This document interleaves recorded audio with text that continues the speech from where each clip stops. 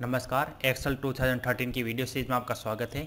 आज के इस वीडियो में सीखेंगे ईज और फ़ंक्शन ईज और फ़ंक्शन क्या करता है कि अगर जो भी आप नंबर इसमें पास करते हैं, वो ये चेक करेगा और अगर वो इवन ओड नंबर है सॉरी ओड नंबर है तो वो आपको ट्रू रिटर्न करेगा और अगर वो इवन नंबर है तो आपको फॉल्स रिटर्न करेगा, ठीक है? अगर आपको चेक करना है कि जो नंबर है, वो इवन है या ओड है तो उसके लिए ईज और फ़ंक्शन का यूज़ किया जा सकता है, ठीक है? तो इसको कैसे यूज़ करते हो, देखिए। इज़ ओड और उसके बाद में जो भी आपको नंबर चेक करना वो इसमें पास कर लीजिए। तो मैं ये सेल का एड्रेस में पास कर रहा हूँ, ठीक है? ओके। तो ये जो नंबर है, वो क्या है?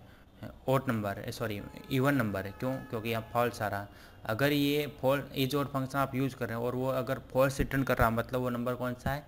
इवन है। अगर वो ट्रू रिटर्न कर रहा मतलब वो ओड नंबर है, ठीक है? तो ये नंबर भी अगर आपको चेक करना है तो इस फॉर्मूला को ड्रैग कर लीजिए। तो बता रहा है कि ये जो नंबर है वो, जिसमें ट्रू आ रहा मतलब वो कौन सा नंबर है? ओड नंबर है। तो 25 ओड नंबर है 89 ओड नंबर है और 59 ओड नंबर है।